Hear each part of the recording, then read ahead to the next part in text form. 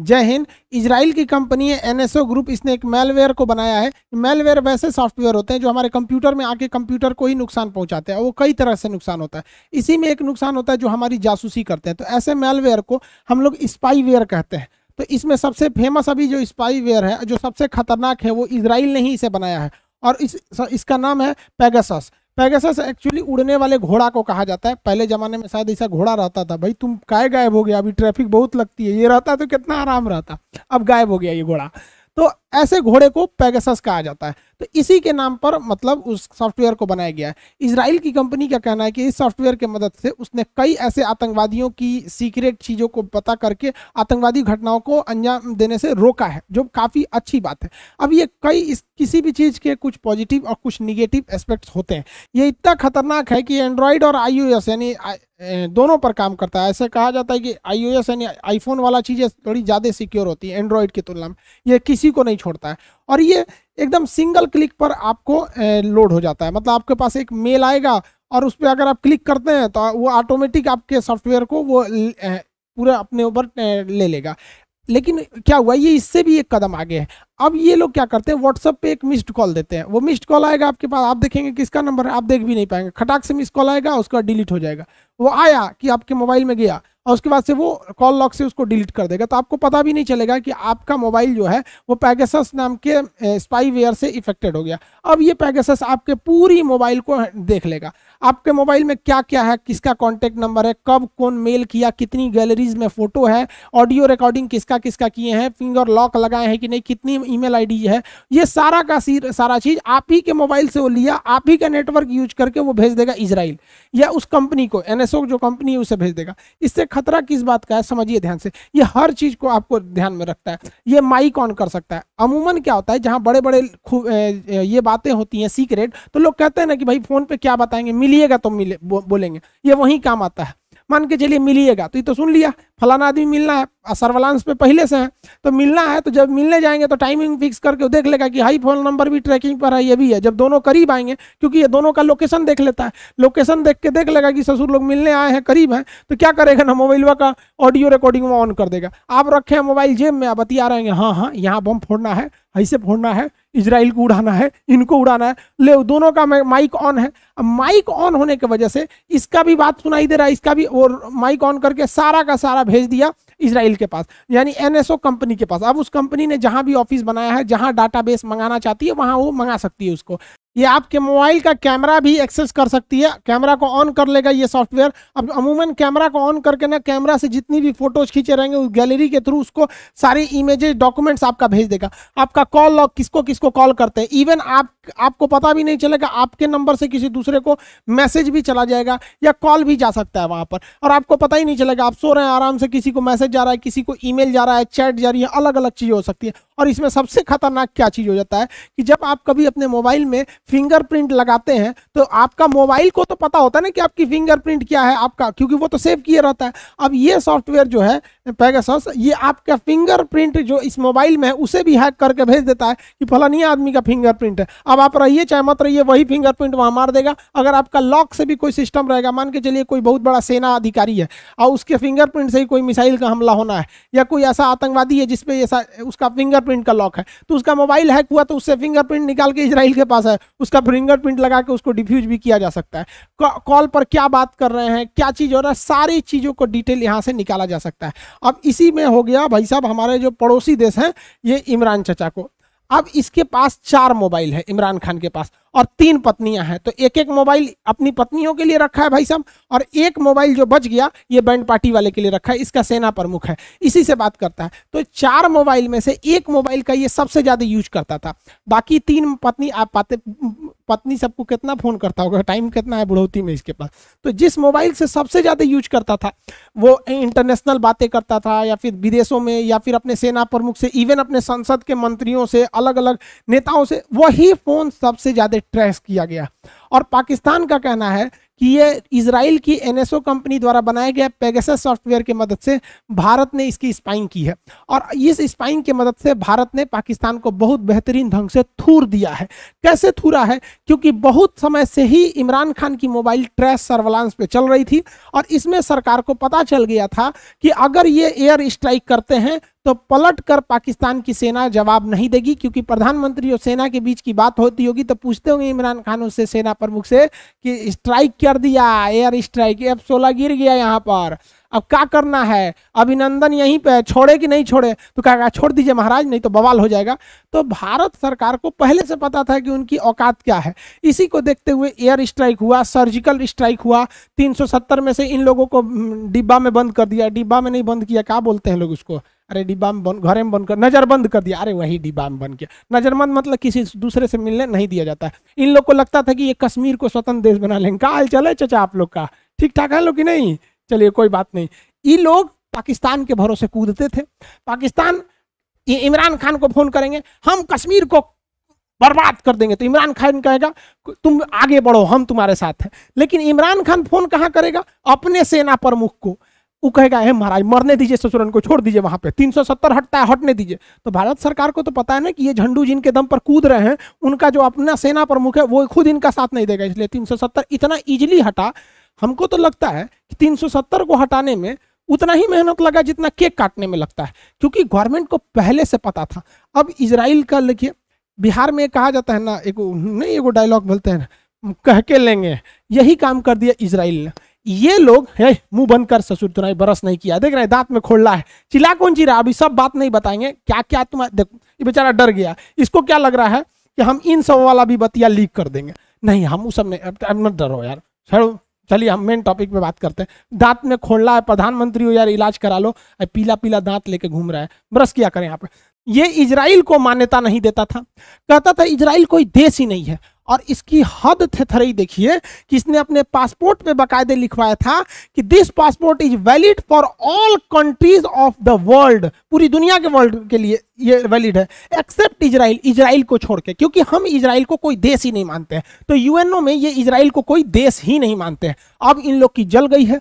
क्योंकि इनका कहना है कि इजराइल की जो पैगसस है, एनएसओ कंपनी है, उसी के थ्रू हमारे प्रधानमंत्री का खुफिया जानकारी लीक किया गया है। हम इस पर केस करेंगे। तो केस करने जाएँगे तो यूएनओ में पूछेगा कि किस देश पर करना है? तो कहेंगे कि इजराइल पे। तो जज साहब कहेंगे कि तेरा पासपोर्ट पे तो लिखल है, इजराइल में अवेलेबल नहीं है। तुम इसराइल को देशे नहीं मानते हो। अब नेतन्याहू खैर इसके जगह तो नेफ्ताली बैनेट आ गए हैं। नेफ्ताली बैनेट इससे दस गुना ज़्यादा खतरनाक है। समझ में आया ना तुम लोग को?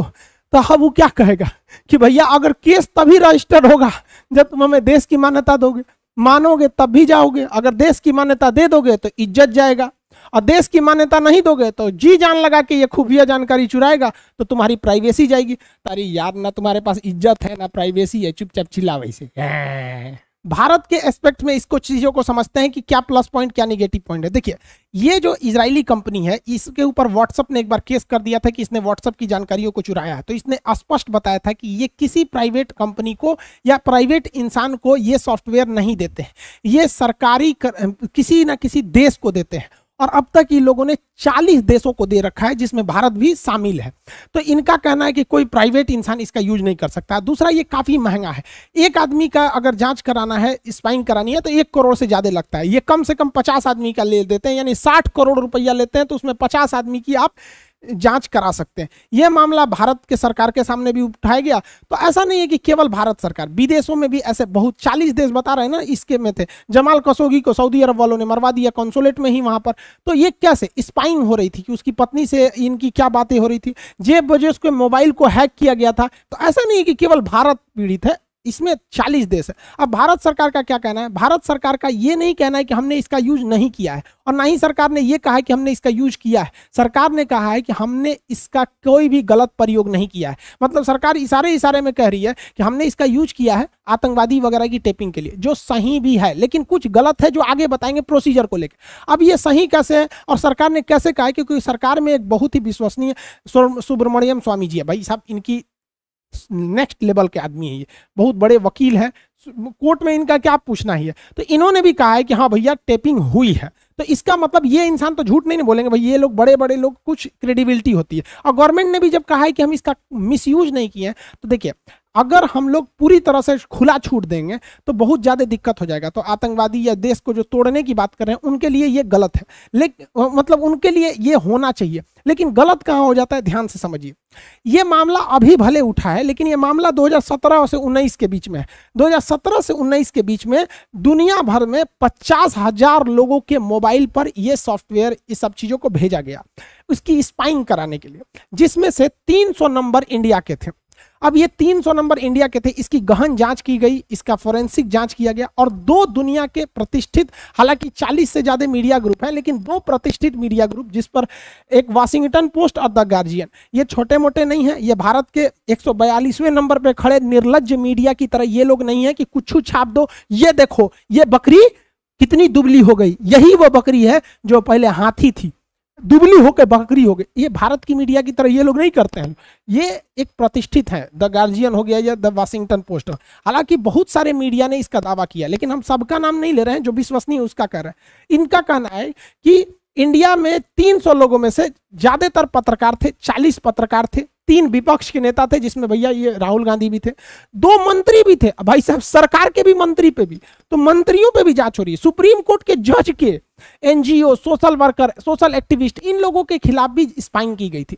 अब यहाँ सरकार किस तरह से जवाब दे रही है? देखिए, सरकार ने इस मामले पर कुछ नहीं किया, लेकिन कुछ लोग होते हैं ना जो सरकार के बचाव के लिए खड़े हो जाते हैं, उनका कहना है कि रही, हो सकता है कि विदेशी लोग भी करा सकते हैं।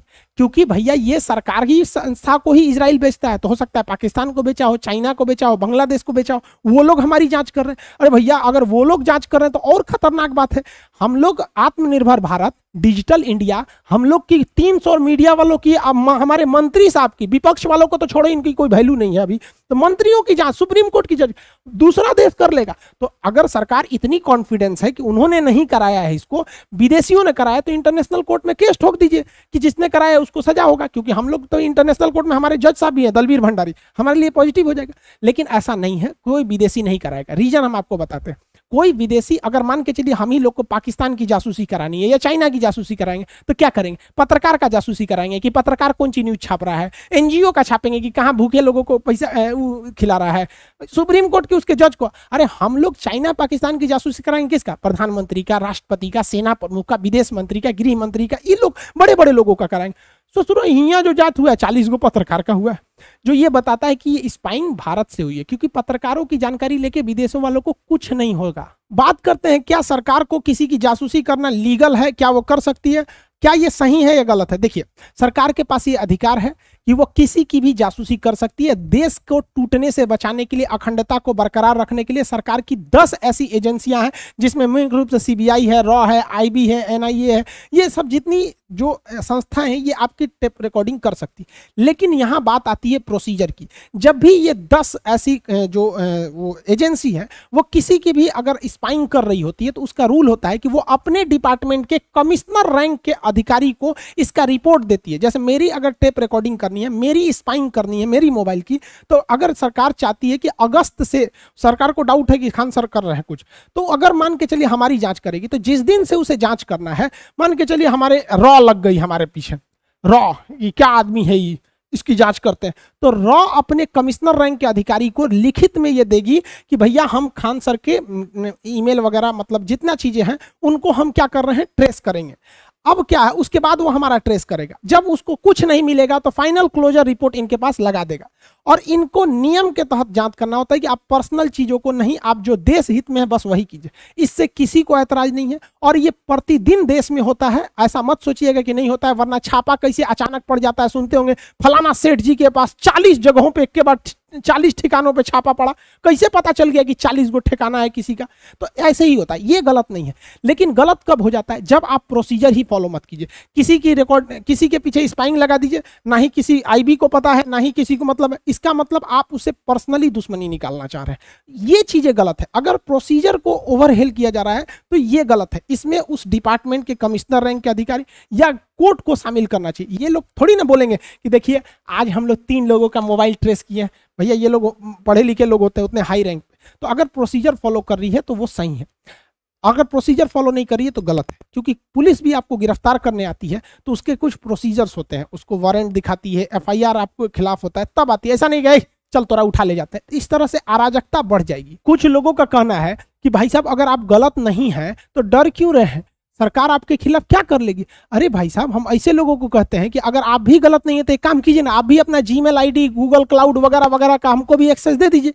जब आप गलत नहीं है तो क्या डर रहे हैं? आप उसको पब्लिकली डाल दीजिए फेसबुक पर कि ये मेरा जी मेल है, ये फेसबुक आईडी है। हम गलत नहीं है तो हमें डरने की ज़रूरत अरे भाई, यहाँ कोई डर नहीं रहा है। बात प्राइवेसी की होती है। प्राइवेसी हमारे आर्टिकल 21 में दिया गया है। और आपको पता होना चाहिए कि हमारे संविधान में दो सबसे प्रमुख आर्टिकल है 20 और 21 जिसे राष्ट्रपति को भी यह अधिकार नहीं दिया गया है कि वो इसको थोड़े देर के लिए भी रोक सके। 20 और 21 में। और 21 में आपका प्राइवेसी का अधिकार है तो देखिए, प्राइवेसी बहुत मायने रखती है। अगर आपको किसी गलत नहीं, एक अच्छे इंसान की भी प्राइवेसी की पता चल जाएगी ना तो आप उस अच्छे इंसान को गलत बना सकते हैं। मान के चले कोई हस्बैंड वाइफ है तो हस्बैंड वाइफ होना कोई अपराध थोड़ी है, एक खुशहाल ज़िंदगी है। अब हस्बैंड वाइफ अपने फ़ोन पर क्या बात कर रहे हैं, आप स्पाइंग करके उनकी बातों को रिकॉर्ड कर लीजिए। अब वो बेचारे कहीं घूमने गए, कैसा फ़ोटो खींचे, कैसा नहीं फ़ोटो खींचे, आप उनकी स्पाइंग करके गैलरी से वो फ़ोटो निकाल लीजिए। वो बेचारे अपने जगह पे अच्छे थे।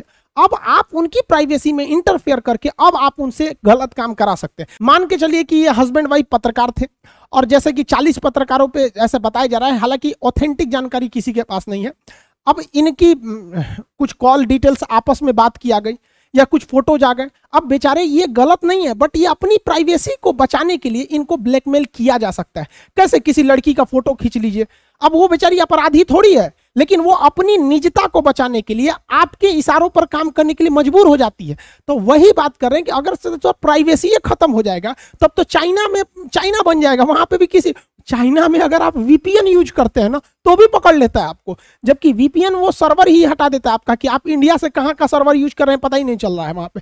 तो वो काफ़ी इस पर कंसर्न है। हालाँकि इंडिया की गवर्नमेंट इतना सब, बाकी पब्लिक को डरने की ज़रूरत नहीं सोचा हम लोग का जाँच करके काम मिलेगा? मान के चले हमारे स्पाइंग करेगी सरकार क्या मिलेगा? पीडीएफ फ़ाइल मिलेगा। अप्लीकेशन पे कौन क्लास है? बैच कौन स्टूडेंट का पीडीएफ नहीं मिला? नोट्स कहाँ है? कौन सा शेड्यूल क्या है? यूट्यूब पर कौन वीडियो बना? ये सब तो मिलेगा। और कौन चीज़ मिलेगा? कौन चीज़ हम लोग के पास कौन न्यूयॉर्क का कौन प्लानिंग है का हम लोग के पास? इस सब मामले के लिए छोटका फोनवा ठीक है। आप देखिएगा बड़े बड़े लोगों के पास ये छोटका फोनवा आप देखेंगे। समझ में आ रहा है काहली यूज़ करते हैं? इस पे ससुरा न लिंक आता है, ना व्हाट्सअप आता है, न इस पर अच्छा अच्छा चीज़ काम नहीं कर पाता है।